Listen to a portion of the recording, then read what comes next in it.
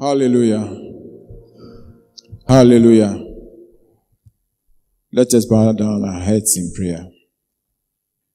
Mighty Father, in the holy name of Jesus, we thank you, Father, for this time at your feet. Father, as we come, we are asking, Lord, that you wash us in the blood, cleanse us and purify us, Father, by the power of the blood of Christ Jesus, our Lord and our Savior. Father, we ask, O Lord, that at this your table, you feed us with the goodness of your mercies. You feed us with the goodness of your love. And that you allow your word, Father, to come forth with tremendous power and authority. That you cause your word to triumph over our lives. That even as your word overcomes everything else in our lives, Father, you transform us into overcomers who will dwell with you in eternity. Father, we thank you in Jesus' mighty name. Amen. Hallelujah. Can we have our seats, please? Hallelujah. A day is coming. That day will separate the whole of humanity into two main groups. Those who are, will be considered overcomers and those who will not be overcomers. The overcomers will dwell with God in eternity forever. The others, we shall soon see where they will be. And today we are asking the Lord that by the power of His word, by the authority of His word, He will translate us into the realm of the overcomers. Hallelujah. But I want to tell you something before I begin. At the end of our lives on this earth, we must be overcomers. In fact, on the other side of the spiritual realm, the ultimate power, we are supposed to overcome it. And today we'll begin to look at how the Lord equips us to overcome the ultimate power of the dark side of the spiritual realm. Amen. Hallelujah. Then you can see the wisdom of our God. You can see the glory of our God. The things that human beings may not consider as essential or as important. That is what the Lord has used to give power to you and I to overcome the ultimate evil in this universe. Hallelujah. Hallelujah. Our key scripture is from 1 Corinthians 15, 20 to 26. It says this. And if you look at the ones I have highlighted, you get an idea about what we are going to talk about today. It says, but in fact, Christ has been raised from the dead. You and I know that one thing that is interesting about death, when somebody is dead, there's a finality about it. Whether you like it or not, you cannot do anything about it. Because we know that once death comes, that is it. It's finished. The person is gone forever into eternity. We may never meet the person again. But here the Bible is telling us that somebody, his name is Christ Jesus. He was raised from the dead. Hallelujah. And he says that that is not the end of being raised from the dead. He says he is the first fruit of those who have fallen asleep. Wow. The Bible is saying that there are some people who, when they die, they are dead. And there are others, when they die, they have fallen asleep. Amen. So, it is not death, but it is sleep in which they are. Hallelujah. Then you begin to see that this one is interesting. This one is interesting. So they have been removed from the realm of death into the realm of rest. Hallelujah. Then verse 21 says, For as by a man came death, by a man has come also the resurrection from the dead. So death is not the final event. There is something after death. Amen.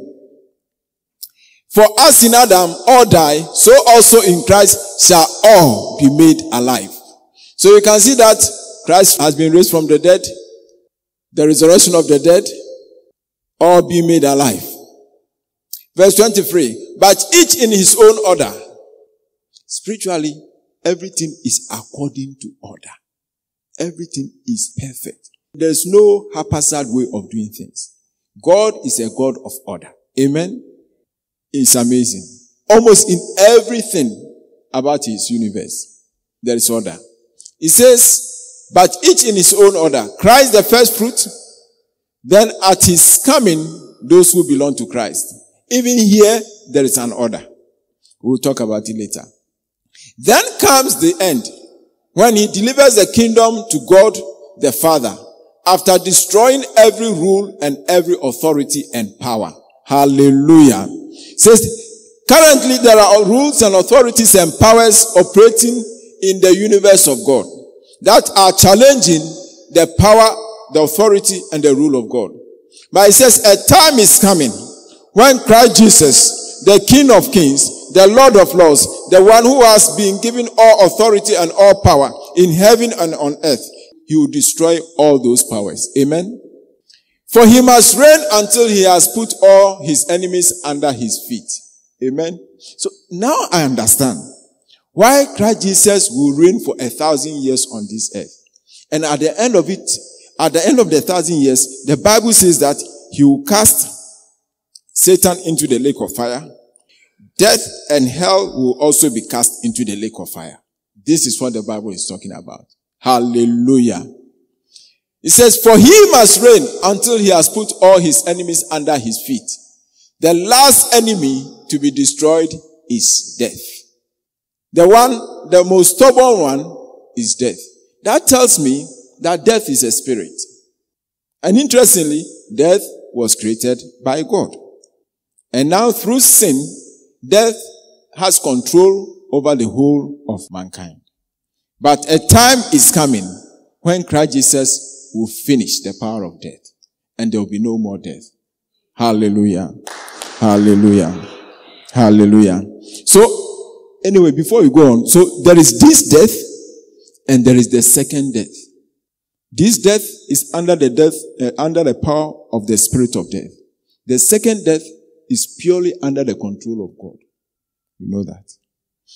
And, and this one, this one will die the second death. We'll see what the Bible calls the second death. Hallelujah. So you can see that, as I said, if you look at it, there are certain things that I've highlighted.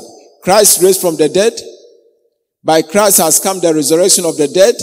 In Christ, we will not die, but be made alive. Christ will destroy death.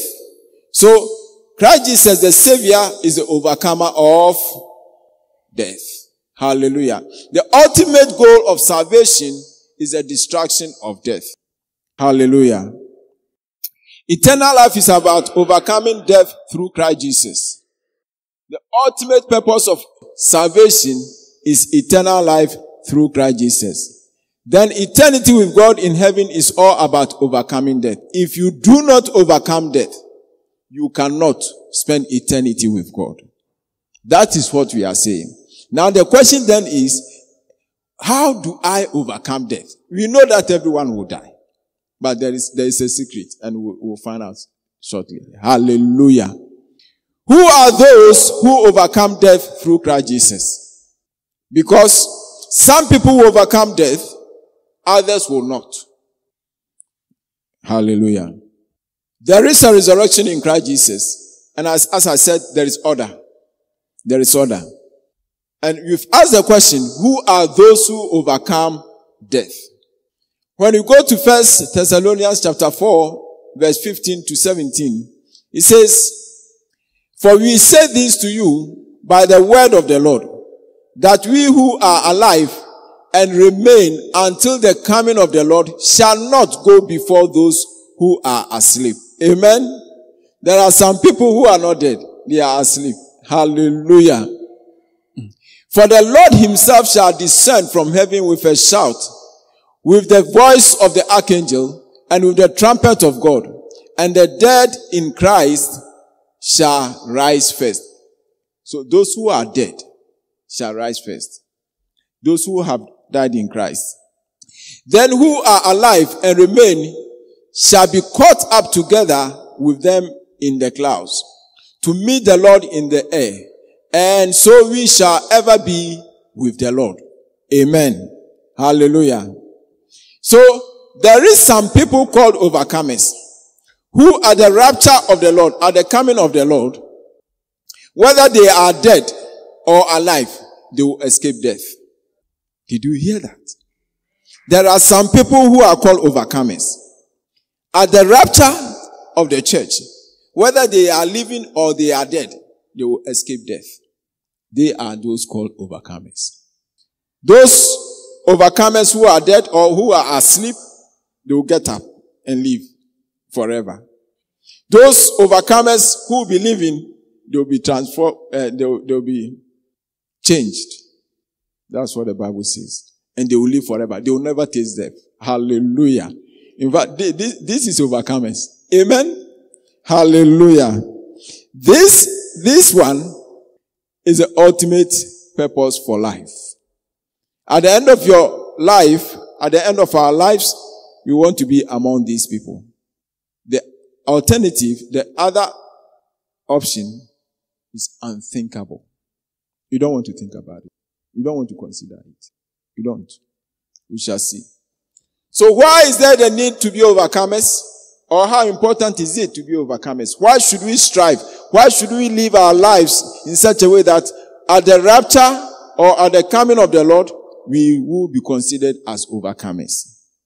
Who are the overcomers? How do they become overcomers? What is the characteristics of the overcomers?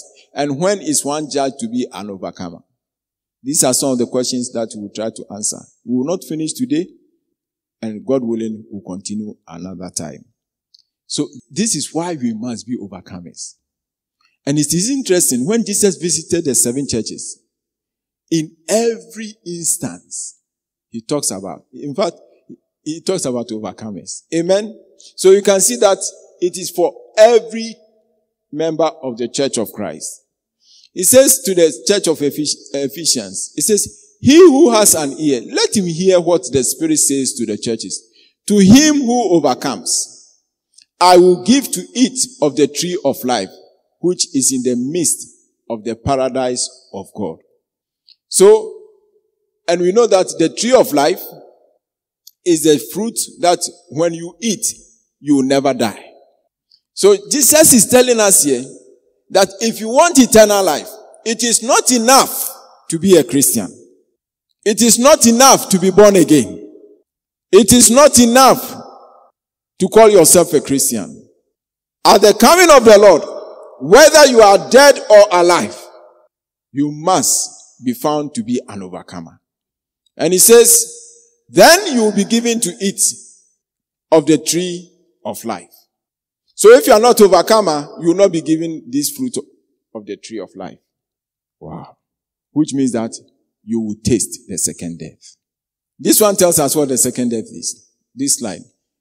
To the church in Smyrna, it says, he who has an ear, let him hear what the Spirit says to the churches.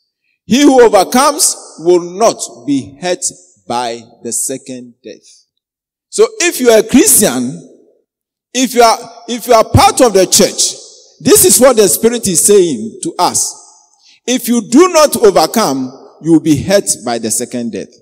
But if you overcome, you will not be hurt by the second death. Now, what, what is the second death? We go to the scriptures and the scriptures tell us. Revelations 21, 8 and Revelations 20, 14. It says, but the fearful and the unbelieving and the abominable and murderers and whoremongers and sorcerers and idolaters and all liars will have their part in the lake burning with fire and brimstone, which is the second death. So you see why we are saying that it is not enough to be a Christian. It is not enough to call yourself, I am born again. It is not enough to speak in tongues. It is not enough to, to, to even preach. It is not enough to worship. It's not enough to do the work of God, to be an evangelist. The most important thing is that are you an overcomer? It says, Revelation 2014 says, and death and hell were cast into the lake of fire. This is the second death. And you see why I was saying that death himself will die. Death himself eh, will be subject to the second death. Wow. Then the lake of fire must be very, very terrible. It must be very terrible. It must be very terrible. And the, the Bible is telling us that if we do not overcome, then we will be hurt by the second death. What does he mean to overcome? What does he mean to overcome? To the church in Pergamon, Pergamum, it says, he who has an ear, let him hear what the Spirit says to the churches. This is what the Holy Spirit is saying to you and I. It says this. It says, to him who overcomes, I will give to eat of the hidden manna and will give to him a white stone and in the stone a new name written. Wow. Look at it. It says in the stone. A stone, inside the stone is a name written. Wow. Which no man knows except he who receives it. Wow. This one, it is a hidden mystery. Only the Lord knows what the hidden manna is. Only the Lord knows that stone and only the Lord knows what name is in that stone. But it says that we must overcome to receive the hidden manna and that uh, white stone. Amen. Then to the church in Thyatira, it says, but that which you have, but that which you have, hold fast until I come. Which means that if you do not hold fast what we have, somebody will overcome us. Hallelujah. We have been made overcomers, but we are not overcomers until the day of the rapture, until the point of the rapture. And it says, he who overcomes and keeps my works to the end. Did you hear that? To him I will give power over the nations. Wow. No wonder only a few will be saved. The overcomers will be the rulers of the nations of this earth. Hallelujah. Hallelujah. It says they will be given power to rule over the nations and giving the morning star. He he said, I'll give him the morning star. Then you can begin to see that there is something that is prepared for these overcomers. And in life, we must aim to be among these overcomers. Hallelujah. The morning star. Christ Jesus is the bright morning star. And he says, I'll give him the morning star. I don't know what the morning star is. But can you imagine all that he has been talking about? The, uh, the fruit of the tree of life, the morning star, the hidden manna, the white stone. Wow. Hmm. When the saints go marching in, when the saints go marching in, Lord, I want to be in the number when the saints go marching in. When the overcomers go, go marching in, I want to be among the number. Hallelujah. It says to the church in Sardis, the one who overcomes, this one will be what? Clothed in white clothing. And I will not, wow, did you hear that? I will not blot his name out of the book of life, but I will confess his name before my father and before his angels. Did you hear that? Did you hear that? Did you hear that? So there are some overcomers who will not be overcomers at the end. May God have mercy on us. You can see that those who are clothed in white, those who are overcomers will be clothed in white. And you can see that then you look at Revelations 19, 6 to 9, then you know that they are the ones that are invited to the wedding supper of the Lamb. Hallelujah. Their names are kept in the book of life and their names are called and mentioned before the Father and the, before the angels. Wow. They will be recognized in heaven as belonging to the family of God. Hallelujah. Hallelujah. So, so it's not everyone who is a child of God. Only the overcomers are the children of God. Ultimately. May the Lord help us that we will be overcomers also. Amen. To the church in Philadelphia, it says, behold, I come quickly. Hold fast to that which you have so that no one may take your crown. You are not in until you are in. Jesus is saying that if you do not hold fast to what we have, somebody can take our crown. Wow. This spiritual life is not a joke. It's not a joke. It's not a joke. It says, him who overcomes, I will make him a pillar in the temple of my God and he will go out no more. And I will write upon him the name of my God and the name of the city of my God, the new Jerusalem, which comes down out of heaven from my God and my new name. Wow. He will dwell in the presence of God forever. He will be recognized before the Lord forever. A pillar in the temple of God. Wow. Wow. Wow. I want to be among them. I want to be among the number. Hallelujah. Hallelujah. To the church in Laodicea, he says, to him who overcomes, I will grant to sit with me in my throne. And this one, in fact, if you read about the throne of God, it is amazing. It says, at times it says that in the throne is the Lamb of God. God is seated on the throne, but the Lamb of God is also seated on the throne. Then he says, at times he says that the four living creatures who are around the throne. At times he says that somebody came out of the throne. Wow. The throne of God is not an ordinary throne. Amen. But Jesus is saying that, he says that you sit with me in my throne, in my throne, not on my throne, in my throne. Wow. Wow. Even as I also overcame and have sat down with my father in his throne. Wow. He says, you reign with me in eternity over this universe. These overcomers, they must be special. They will reign with Christ. Wow. Who? May the Lord have mercy on us. Father, have mercy upon me. So you can see that we must be among those. It is important that we become overcome. In fact, if you are not overcomer, forget heaven. Forget eternal life. But if you are an overcomer, you have eternal life in the paradise of God. You will not, what? Be hurt by the lake of fire, the second death. You will be given to eat the hidden manna. Wow. And you have the white stone with a new name written.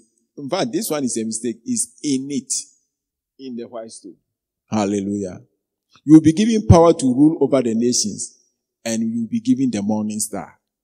You will be clothed in white clothing and your name will not be blotted out of the book of life. You'll be made a pillar in the temple of God with the name of God and Christ written on you. And you'll be granted to sit with Christ Jesus on his throne. Hallelujah. Who wants to be an overcomer? Lord, have mercy upon us and help us. Amen. Please, Holy Spirit, help us. Amen. So what are the characteristics of those who are overcomers? If you look at that which I think it was the Sardis. It says, the one who overcomes, this one will be clothed in white clothing. So only the overcomers have their names not blotted out of the book of life. So this is what happens. When you become a Christian, your name is written in the book of life. Then you are given the chance to prove yourself as an overcomer or as a loser. If you are an overcomer, your name is kept in the book of life. If you are not an overcomer, your name is blotted out of the book. And if your name is blotted out of the book, it means that though you became a Christian, you spend eternity in the lake of fire. People, we cannot joke with our Christianity anymore. We cannot. We cannot. We cannot. And as we said, names of those who do not overcome are blotted out of the book of life. Their names were in the book to start with, but they were blotted out. Oh, may God have mercy on us. You can see that Christianity is not just a matter of coming to church on Sunday. It's not a matter of preaching here. It's not a matter of singing in the worship. It's not a matter of evangelism. You can do all those things but if you are not an overcomer, it's useless. So let's see how death entered. The power of death. Then we will see the power that overcomes this death. Then it will make sense. It will make sense. Genesis 1:26. It says, Then God said, Let us make man in our image, after our likeness, and let them have dominion over the fish of the sea, and over the birds of the air, of the heavens, and over the livestock, and over all the earth, and over every creeping thing that creeps on the earth. So God created man in his own image, and in the image of God, he created him. Male and female, he created them. Hallelujah. Hallelujah. Then we all know what happened. God gave them instructions not to eat of the fruit of the tree of the knowledge of good and evil. And he told them that the day they eat it, they will die. Now let's fast forward a little bit and see what happened. The, the Bible says that the serpent came to entice the woman and to tell him, to tell her that no, what God said is not true you will surely not die. But it will make you wise. You know good and evil. In fact, it will make you like God. And the Bible says here that so when the woman saw that the tree was good for food and that it was a delight to the eyes and that the tree was to be desired to make one wise, she took of its fruit and ate. And she also gave some to her husband who was with her and he ate. Wow. At times I sit there and say, what if Adam and Eve had not eaten the fruit? But it is too late. It's too late forever. Can you imagine the billions of people who are going to hell because of this? Billions of people. And we do not even know what fruit it is. We did not chop some. Look at the hardship, the difficulties of this earth because of this. Then you know that there is something that we must be very careful about. If we can do such evil, then we must be very careful about it. How death came, how death entered. It says, verse 7, Genesis 3 7, it says, Then the eyes of both were open, and they knew that they were naked. They knew that they were naked. So you can see that sin has removed or stripped them of their clothing, of their garment. And then we will understand that this image of God and the likeness of God was what was covering them. And they sewed fig leaves together and made themselves loincloths. Why do I say that this image and likeness of God was the clothing that covered them? We'll have to have scripture for that. We'll get to that. But the key thing is that the moment they sinned, they became naked. Now somebody is understanding why the Lord is saying that your name can be in the book of life, but it can be blotted out. We'll see the importance of these garments later on. Maybe not today. But without the garment, if you are naked, you cannot dwell with God. And the Bible says that sin makes us naked even to ourselves spiritually. Remember, it was only one sin.